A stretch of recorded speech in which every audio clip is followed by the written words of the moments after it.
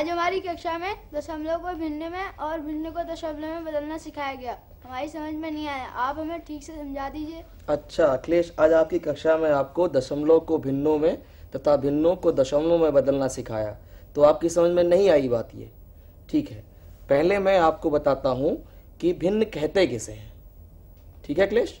देखो, जरा ध्यान से देखो यहाँ पर। यहाँ पर देख रहे हो कि यहाँ दस खाने हैं। दस खाने दिखाई दे रहे हाँ? इसमें से एक भाग हमने इसमें क्या किया है? छायांकित किया है। तो इसको लिखने का जो तरीका है वो है एक बटा दस भाग। ठीक है? अब यहाँ पर जो एक लिखा गया है ये कहलाएगा अंश। ये क्या कहलाएगा? अंश। अंश। और इस रेखा के नीचे जो लिखी गई संख्या है वो कहलाएगी हर। हर। वो कहलाएगी हर। ठीक है? तो एक हो गया अंश और दस जो लिखा गया है, वो आपके पास हो गया हर। इसी प्रकार से यहाँ पर दूसरा आप चित्र देख रहे हो। इस चित्र में आपने देखा कि दस खाने हैं। है दस खाने? इसमें जो दो भाग हैं, वो क्या किए हैं? छायांकित कर रखा है। समझ रहे तो इस दो भाग को छायांकित करने के बाद जो लिखने का तरीका बनाया गया है, वो बनाया गया है दो बटा दस। समझ रहे हैं? आप कितना लिखा है बताएँगे मुझे आप? दो बटा दस। दस। यहाँ पर दो क्या कहलाएगा? अंश। अंश। और दस क्या कहलाएगा? हर। हर। तो यहाँ पर दो बटा दस इस प्रकार से लिखा गया है तो वो आपके पास क्या होगा? वो आपके पास एक भिन्न कहलाएगा। क्या कहलाएगा? भिन्न। भिन्न कहलाएगा। तो भिन्न का मतलब है कि अंश को एक रेखा के नीचे फिर क्या लिखते हैं हम लोग? हर। इस प्रकार से जो हमको प्राप्त होता है, उसे हम लोग क्या बोलते हैं? भिन्न कहते हैं। समझ में आ रहा आपके? ठीक है? ये बात समझ आ गया आपको? भिन्न समझ गए आप? किस प्रकार से भिन्न क्या, भिन्न किसे कहते हैं? समझ में आ गया होगा आपको। ठीक है, बढ़िया। अब देखो, यहाँ पर हम लोग जो सीख रहे हैं, जो आपने मुझसे कहा कि आपको आज दशमलव को भिन्नों में तथा भिन्नों को दशमलव में बदलना सिखाया गया कक्षा में, है ना? यही सिखाया गया कक्षा में आपकी? तो पहले मैं आपको दशमलव को भिन्नों में बदलना सिखाऊँगा। ठीक है?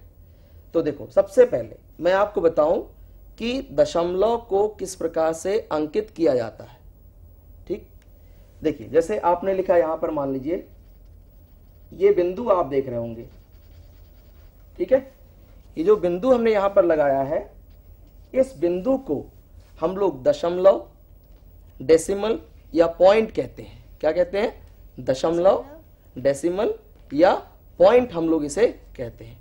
अच्छा इस प्रकार से देखो अगर मैंने कुछ लिखा है यहाँ पर मैंने लिखा है ये मैंने जो लिखा है यहाँ पर इसे जब पढ़ा जाएगा तो पढ़ा जाएगा दशमलव एक।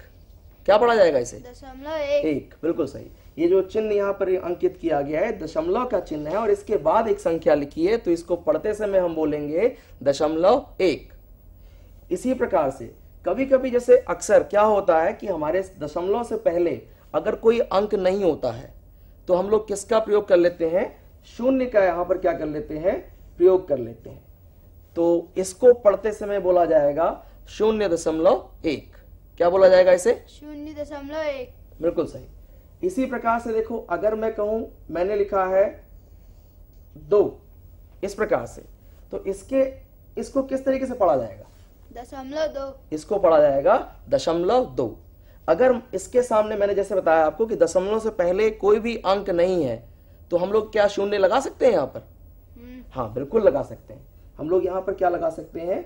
शून्य का प्रयोग कर सकते हैं। तो इस तरीके से इसे क्या पढ़ा जाएगा? दशम नहीं। हाँ आप बोलो इसे क्या पढ़ा जाएगा? शून्य दशमलव दो। दो। क्या पढ़ा जाएगा इसे? शून्य दशमलव दो। पढ़ा जाएगा। इतना समझ आ गया? अब देखो इसी प्रकार से अगर मैं कहूँ कि इसे क्या पढ़ा जाएगा? शून्य दशमलव पाँच। इसे पढ़ा जाएगा शून्य दशमलव पाँच। बिल्कुल सही कहा तुमने। तो इस इस इससे आपको समझ में आ गया होगा कि हम लोग किस तरीके से इसको पढ़ते हैं। है ना? समझ में आ गया आपको? चलो बढ़िया। अब देखिए इसको हम लोगों को बदलना ये दशमलव में लिखा गया है इसको बदलना किसमें हमको? भिन्न में हमको बदलना है। समझ रहे हैं आप? तो देखो भिन्न में बदलने के लिए हमने क्या किया? जैसे मैं फिर तुमसे तुमसे पूछ रहा हूँ कि ये लिखा गया है शून्य दशमलव एक। तो यहाँ बताओ दशमलव के बाद कितने अंक हैं? एक। एक अंक यानी कि उस अंक का मान है एक। ठीक? लेकिन दशमलव के बाद अंक जो है उसकी गिनती है एक। तो हम लोग जब इसको हटाएँगे यहाँ से हटाने के पश्चात यहाँ पर एक अंक होने के कारण हम लोग क्या कर रहे हैं यहाँ पर? नीचे दस लिख दे रहे हैं। कितना लिख दे रहे हैं? दस। दस। तो यानी कि दशमलव एक को हम लोग एक बटा दस भी लिख सकते हैं। समझ में आ रहा है? आपने पहले कितना लिखा था वहाँ पर? पहले आपने लिखा था दशमलव एक। तो हमने क्या लिखा अब इसको? दशमलव जब यहाँ से हटाया गया तो नीचे कितने क्या लिखा गया? दस लिख दस लिखा गया। लिखा गया दस। तो ये संख्या किसके बराबर हो गई? एक बटा दस के बराबर हो गई। समझ में आ गया? इसी प्रकार से जैसे यहाँ पर लिखा गया है मान लो दशमलव पाँच। कितना लिखा आपने? तो इसको हम यहाँ दशमलव के बाद कितने अंक हैं? एक। एक अंक जिसका मान कितना है? पाँच। तो इसलिए जब हम यहाँ दशमलव हटाएँगे तो नीचे कितना लिख देंगे? पाँच बटे दस। कितना लिख देंगे आप? पाँच। बटे दस। समझ में आ गया आपको? मान लो मैंने आपसे एक प्रश्न करना है जिसका उत्तर मैं आपसे माँगता हूँ। वो उत्तर क्या है? जरा देखिए। मान लो यहाँ पर लिखा है शून्य दशमलव पाँच सात। कितना लिखा है? शून्य दशमलव पाँच सात। यहाँ देखो दशमलव के बाद कितने अंक हैं? दो। दो अंक हैं है ना? तो हम लोगों को एक बट्टा दस लिखना चाहिए या एक बट्टा सौ लिखना चाहिए? एक बटा सौ। एक बट्टा सौ लिखना चाहिए। कैसे मालूम चला? क्यों? क्योंकि यहाँ पर क्या है? दशमलव के बाद कितने अंक हैं? दो। दो अंक हैं शाबाश। तो इसको लिखा जाएगा पाँच सात सत्तावन बटे कितना? सौ। कितना लिखा जाएगा? सत्तावन बटे सौ। समझ में आ गया? इसी तरीके से मैं कहूँ मान लो आपसे दो दशमलव छ पाँच। ये इसको कैसे पढ़ेंगे आप? दो दशमलव छ पाँच। पढ़ेंगे ना?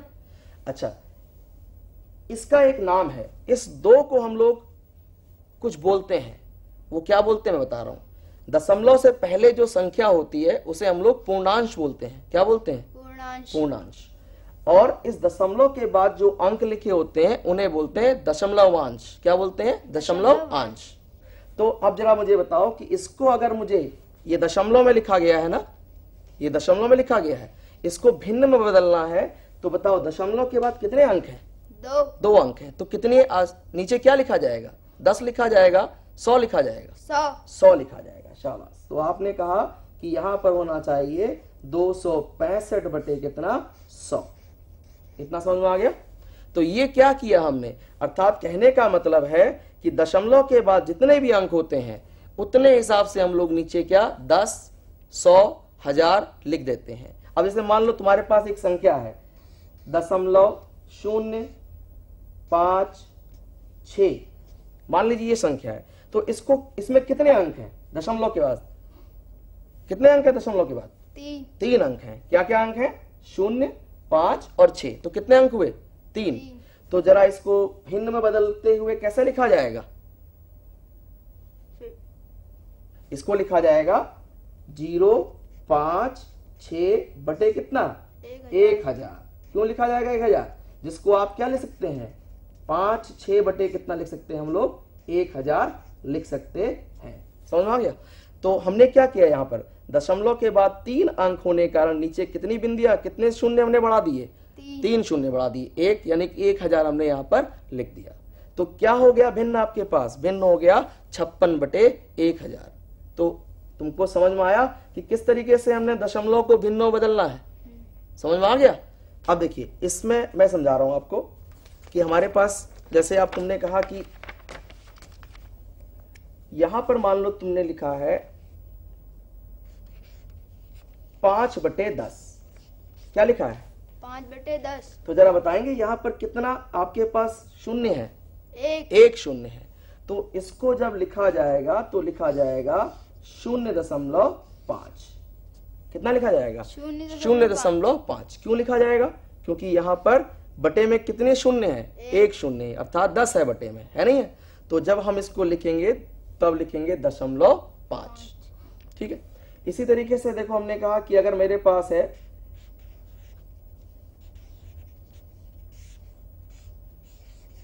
ये लिखा है मैंने। कितना लिखा है? पैंतीस बटे सौ।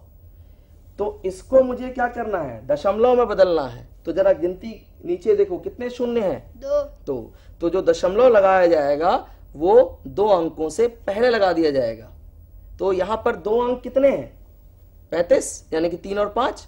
तो इनसे पहले क्या लगा दें हम? दशमलव लगा दें तो क्या हो जाएगा? ये भिन्न किसमें बदल जाएगा? दशमलव में बदल जाएगा। समझ में तो बराबर में क्या लिखना चाहिए मुझे? मुझे लिखना चाहिए दशमलव तीन और पाँच। कितना लिखना चाहिए? दशमलव तीन पाँच। लिखना चाहिए? इसको दशमलव पैंतीस नहीं पढ़ूँगा मैं। क्या पढ़ूँगा इसे मैं? दशमलव तीन पाँच पढ़ूँगा। समझ में आ गया? तो अब मैं तुमसे अगर एक प्रश्न करूँ प्रश्न क्या है वो बता रहा हूँ तुमको मैं जल्दी आप बताना मुझे इसका उत्तर क्या होगा? ठीक है? यहाँ पर लिखा आपने सात पाँच तीन बटे कितना? एक हज़ार। तो इसको जरा बदलिए आप। किसमें बदलना है आपको इसको? इसको बदलना है ये किसमें लिखा गया है? भिन्न में। किसमें लिखा गया है? भिन्न में। भिन्न में। इसको किसमें बदलना है? दशमलव में। तो अंक कितने हैं इसके नीचे? तीन। तीन शून्य है है ना? अंक तो चार है लेकिन शून्य कितने हैं? तीन। तो हम लोग इसको बराबर में कितना लिखेंगे? शून्य दशमलव सात पाँच तीन। तीन। तो मेरे सम, मेरे ख्याल से तुम्हें समझ में आ गया होगा कि किस तरीके से हम लोग दशमलव को भिन्नों में और भिन्नों को दशमलव में बदलते हैं। अब तो समझ में आ गया?